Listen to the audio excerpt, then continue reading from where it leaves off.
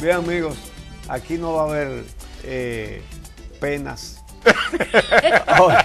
sí, pues pena en lo que tengo en mi vida. No, no, no. El año ñaito no pudo venir. Eh, por, por el trayecto en que venía, no iba, no iba ni va a llegar a tiempo. Entonces, eh, pero vamos a aprovechar porque... Un bateador emergente. no, No, pero porque un- quien lo trae es Maribel, pero miren lo que acaba de, ¿cuánto de publicar bate, Maribel. Ay, Eh, no me no regales, regales perlas. perlas. Ay, Su último libro de, pro- de poemas. sí. Eh, ¿Cuánto van, Maribel, ya? Eh, ¿cuántos De libros, Ah, de este- poemarios. este, eh, em, cuatro. Este es mi cuarto poemario. Ya. Y en total son siete libros. Ah, pero muy bien. Siete títulos, como dicen. siete títulos. Siete títulos, está Eh, muy bien. ¿Y cuál es la línea que predomina en estos poemas? ¿Qué te movió para no me regales perlas? Bueno, me movió una, una reflexión porque en todos en mis libros de poemas anteriores yo había tratado temas relacionados con la mujer en, en su en su estar y en su ser social.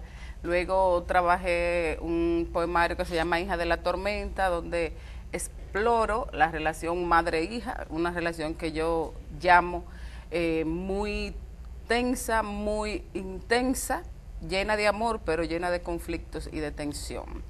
Y la otra eh, se trató de El silencio de abril, con el que de alguna manera hice catarsis para la crisis emocional que me provocó la muerte accidental de mi hermana Keris. Sí. Y digo yo, ven acá, pero yo nunca he publicado un libro de amor, de Oh, poemas de este, amor.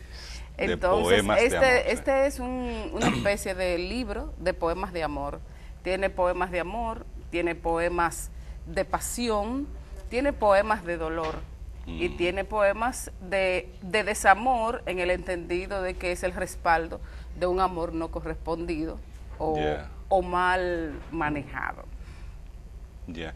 Esto cuando lo pusiste en circulación, ¿dónde la gente puede conseguir esta, El este libro fue, fue presentado este lunes, esta semana lo presentó, para mi honor, lo presentó José Rafael Antigua y fue presentado en la UAS. Eh, realmente es un libro que empieza a formar parte, que ya forma parte de la editora de la UAS, del catálogo de publicaciones de la Universidad Primada de América, lo que para mí es un verdadero honor pertenecer a este, a este selectivo eh, grupo de escritores que han sido seleccionados por la UAS para editarles sus, sus libros. Eh, en este caso, este poemario también contamos con el apoyo del profesor Rafael, el maestro Rafael Nino Félix, que es el vicerrector de extensión, que estuvo con nosotros también ponderando esta, esta obra.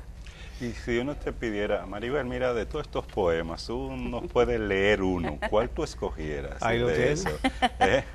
A mí- Yo sé que es difícil, pero Bueno, bueno. eh, voy a empezar por uno de, de amor para que no se asusten. Ay, como dicen, viernes eh, Para que no, es decir, que ahí hay sustos en ese libro. Bueno, yo digo también que este pudiera ser un, un, un catálogo o un Ah. decálogo, decálogo para que los hombres aprendan a tratar a las mujeres, porque También, no, es, no solo que me ames, sino cómo me amas. Ajá. No es solo que, que me ames, sino que me respetes. No es solo que me ames, sino que no me hieras. Sí. Y que por supuesto, lo voy a decir ahorita cuando lea el poemario que le da el poema que le da título Ah, al sí, poemario. claro. Pero este se llama Mitad del mundo. Dice, donde queda el punto medio entre tu mundo y el mío, no hay que abordar un avión, porque no hay cielo suficiente, te digo. No hay agua para el barco que nos acerca, ni carretera que nos lleve en vía contraria. Si caminamos de espaldas, chocaremos dos veces. Por eso te propongo que corramos los dos, tú hacia mí y yo hacia ti. Y el punto justo donde nos abracemos será la mitad del mundo con su otra mitad. Wow. Qué bien dicho. Óyeme. Y, y el que le Bien. da título, no me regales perlas. No me regales perlas. Ese, No me regales perlas, que a esta edad ni las perlas engañan. No me regales piedras, ni preciosas ni baratas. Regálame una mirada que forme parte de nuestras vidas, un collar de palabras que certifiquen que aún me amas. Si es que puedes, el color de la montaña, el olor de una cabaña o de una yegua que cabalga. Pon la brisa de los pinos a refrescarnos los pasos. No necesito lazos ni envolturas llamativas. Devuélveme un verso amarillo de los tantos que te he escrito, ese que hayas conservado, para recordar que nos amamos.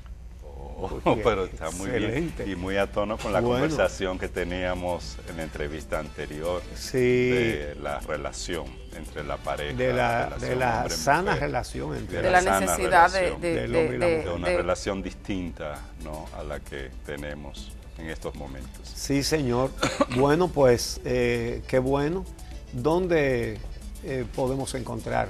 No bueno, me regales eh, todavía no lo hemos colocado porque apenas acaba de salir.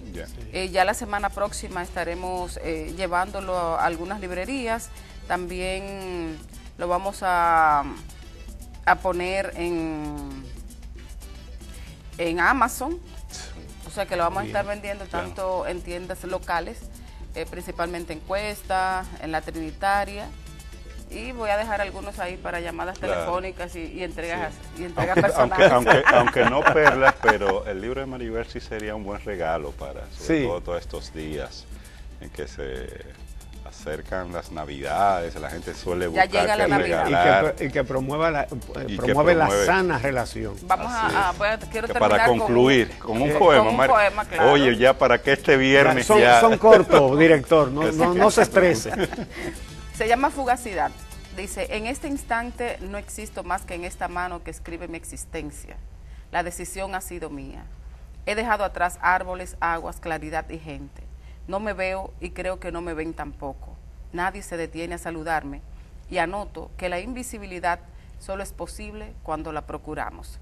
A todos los que he dejado atrás, ahora les persigo y les huyo. Tengo miedo de que me olviden y temo que al descubrirme me desaparezcan ignorándome. Quiero que también mi mano deje de estar revelándome negra sobre el blanco. Solo así la nada se hará de mí. Maribel Contreras, no me regales perlas. Amigos, mañana de 7 a 8 de la noche, esta misma semana. El lunes otra vez a las 6 de la mañana aquí. Que pasen un excelente fin de semana.